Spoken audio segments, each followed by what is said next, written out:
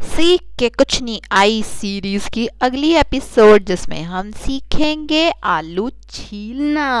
How to peel potato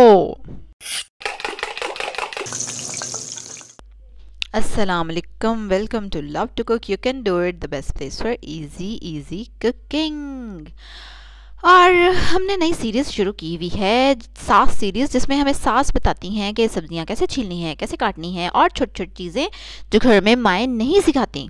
कईयों की सिखाती भी हैं वैसे, लेकिन फिर भी सास को आपको पता है तसली नहीं होती जब तक वो खुद ना आपको बता दे तो इसलिए हमने एक सास को ही पकड़ा है और उन्हीं के हाथों से हम ये सारी चीज़ें करा रहे हैं। इसी तरह की और वीडियोस देखने के लिए सब्सक्राइब करें मेरे चैनल को, जिन्होंने अभी तक नहीं किया हुआ।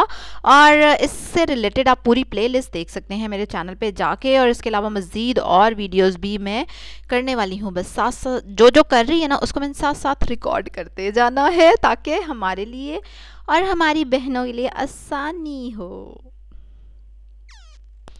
चलें जी, एक आलू तो हमने बातों बातों में छील लिया है। कोई बात नहीं, अब अगला आलू हम छीलेंगे एक्सप्लेनेशन के साथ। ये देखें, आलू पकड़ा और छुरी को आपने उसके ऊपर रगड़ना शुरू कर दिया है। ये नए आलू हैं और नए आलू जो हैं वो इसी तरह से छीले जाते हैं। पुराने आलू जिनका छिलका थोड़ा सख्त हो जाता है, उनको हम दूसरे तरीके से छीलते हैं, जिसके लिए हम दूसरी वीडियो बनाएँगे। वैसे रेफरेंस के लिए मैं बता दूँ जैसे हम आ, सेब को छीलते हैं पता है? उस तरह से उसको छीलेंगे वरना उसकी नई वीडियो में बना दूँगी आपको। आलूओं को थोड़ा पुराना हो लेने दें। ये देखें आपने छुरी से आलू को घुमाते जाना है और छुरी से उसको स्क्रब करते जाना है उसके सरफेस को उसकी तय को रगड़ते जाना है तो ऑटोमेटिकली आलू छिलता जाएगा। कोई इतनी मुश्किल टेक्निक नहीं है आपने सिर्फ़ ये गौर करना है कि आलू हाथ में आपने कैसे घुमाना है और ऊपर छुरी पे आपने कितना प्रेशर रखना है, कितना ज़ोर रखना है। ये थी मेरी साइंटिफिक ऑब्जर्वेशन के साथ कैसे आलू छीलती हैं।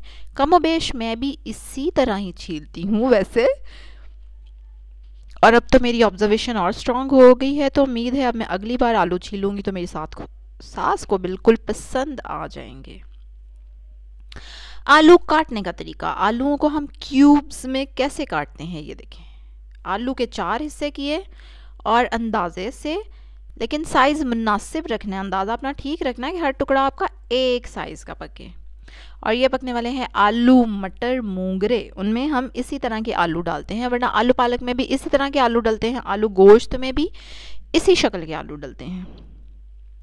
उम्मीद है वीडियो आपको पसंद आई होगी और टेक्निक भी आपको समझ आ गई होगी। इसी तरह की और वीडियोस देखने के लिए क्या करना पड़ेगा? सब्सक्राइब करें मेरे चैनल को और कमेंट करके ज़रूर बताएँ कि सास ने आलू सही छीले हैं। बिल्कुल सही छीले हैं। यार सासें कमेंट करें ना कि हाँ सही छील रही है ये सास आलू। कल एक और वीडियो के साथ रेसिपी के साथ या टिप के साथ आपसे मुलाकात होगी। अल्लाह हाफिज़।